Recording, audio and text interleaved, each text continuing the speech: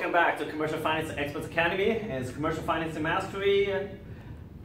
I'm the founder and creator of Commercial Finance Mastery, and we have here Robert Klein, the founder of uh, Lender Analysis and Hippo Contact. That's the one thing we forgot to mention about the earlier one. I've been using Mr. Klein here, hippocontact.com, right? Yeah. I don't remember the .com. I think .com. It's uh, it's like a Facebook stream where you can grab things that you like about other people's newsletter and put into your own newsletter. So really, out of I think six articles, out of the six articles in my newsletter, I'm only doing one, maybe two of those six articles, and the rest is done by somebody else that I like, and I just click like and move it over, drag and drop. Simple as that. Yeah, I've done um, 67 newsletters for the last five and a half years. Uh, to be honest with you, I was able to coast through my mortgage business it took about 18 months for that newsletter to outproduce me working. And then I was like, oh, okay, I'm sort of retired here. And then I got an underwriter in 2015 to do all my deals. So literally for a couple of years, I was like, send out my newsletter, business comes in, pass off to underwriter, uh, I don't want to deal with it. Yeah. Now I'm actually getting much more serious about my mortgage business, and I'm actually doing a lot more, but And here's why it's important. Uh, for most of us, we operate on autopilot. And here's why reason why say autopilot. It's a status quo. Every residential broker is chasing after the realtor, chasing after financial planner, blah blah blah. Robert and I, we're very Our- our database produces so much we're, we're I would say uh, God, God bless or whoever the universe is is taking care of us, and we don't have to chase after these people for center of influence for those kind of business. A lot of our databases, we'll be mining it through through one of this. Hippo Contact has helped me to, to be able to stay in touch with with my clients. Remember, remember, remember when we were doing this? You didn't want to do hippo content? I didn't want to because it was just time consuming as hell. I, I, that's what I'm thinking, right? And uh, and you know what? Back when I was with another franchise, they have one, you know, an autopilot, which is it's I call it crud because it's the same thing that everybody else is getting. Yeah. And if you're sending out to your realtor, the realtor is getting five or six of the identical newsletter, and they're like delete or it's in the spam folder. Nobody cares. Ours is is we've found things that have worked, and uh, like for example, the foreclosure listing. I, I, I call it porn, porn in our newsletter. Yeah. Every- And the way that Hippo Contact does is we, we, it it tracks about interaction, how many people click through, and how many people read certain do- documents that we have attached to the uh, newsletter.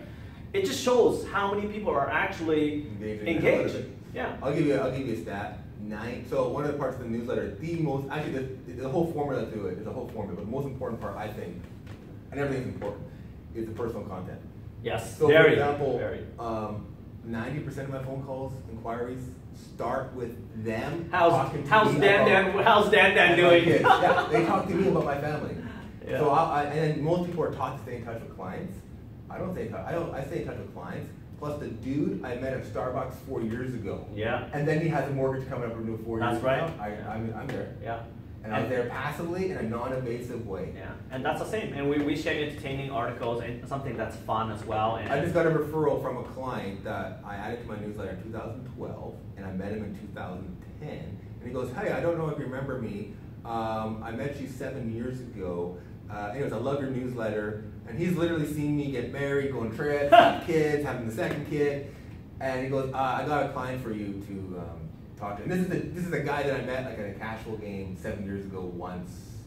well, you just don't know when. Uh, you, you, you, you first you, you, you have to stay in, in, in first of the mind, in front of everybody's mind. And the one way to do it is be engaging. Now, right? people might think, oh, seven years, that's a long time. Well, actually, if you do the mathematics on it, uh, here's the math. The average person is going to deal with their mortgage every 42 months. That's the average, Yeah. every three and a half years. Okay? If your database is 400 people, and they're engaged, 400 people are engaging on, on you, divide that by 42, basically means in that list, 10 people a month are dealing with their mortgage with or without you regardless. Yep. So if you factor, if you get two or three closes out of the 10, that means you're closing you know, 20, 30% of your database. Yeah. That's how you really want to be looking at it. Yeah. So that's pretty cool. Yeah. Uh, so uh, what does it have to do with any commercial financing? Well, it really does and really doesn't because it depends on what you want to put out there. In, in my newsletter, there's always some articles about commercial property or commercial foreclosure or something. Well, I'll, I'll tell you what it does. Right. Do you compete?